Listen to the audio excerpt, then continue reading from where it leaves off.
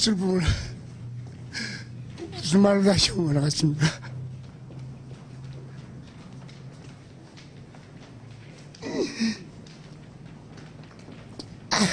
다음 말을 아, 이루지 못하겠습니다.